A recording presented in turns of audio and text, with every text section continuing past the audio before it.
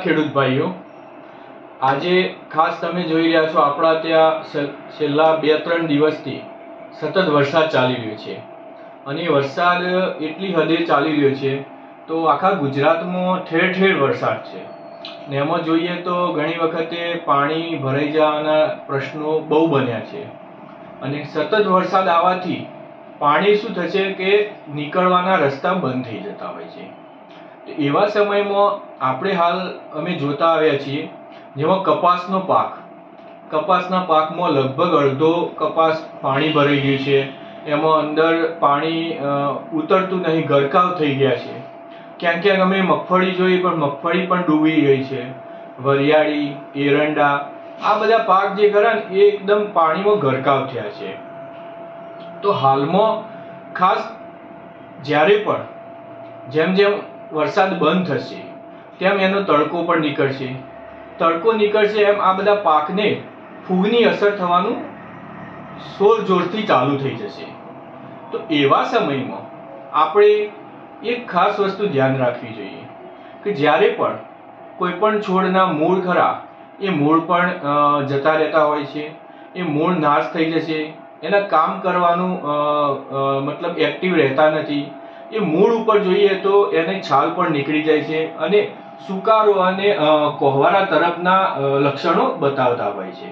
અને પાન પાન ઉપર નાના નાના બદામી કલરના ટપકા થઈ જતા હોય છે.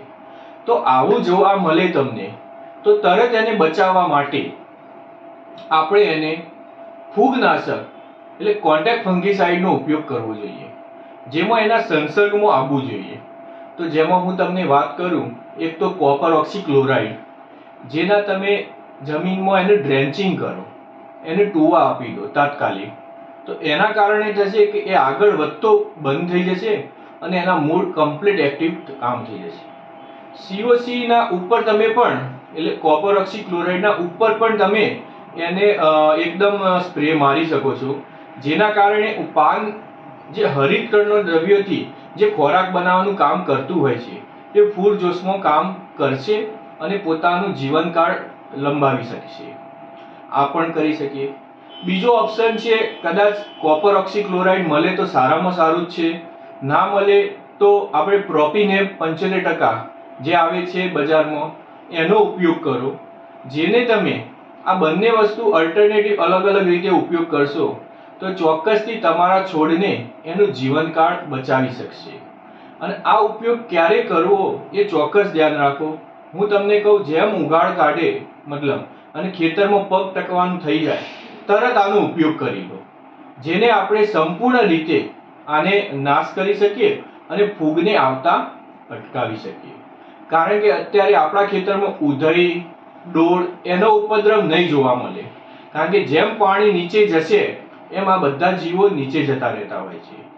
તો આપણે ધ્યાન એ રાખવાનું છે કે માત્ર ને માત્ર ફૂગની અત્યારે સારવાર કરવાની છે અને ફૂગની સારવાર કરી અને આપણે પાકને બચાવવાનો છે. તો તમે આ માહિતી તમારા સુધી પણ રાખો અને આજુબાજુના ખેડૂતો સુધી પણ પહોંચાડો, જેના કારણે એમને સાચી અને સચોટ માહિતી મળવાથી એને પાકને નુકસાન થતા અટકાવી શકીએ છીએ. ધન્યવાદ, આભાર.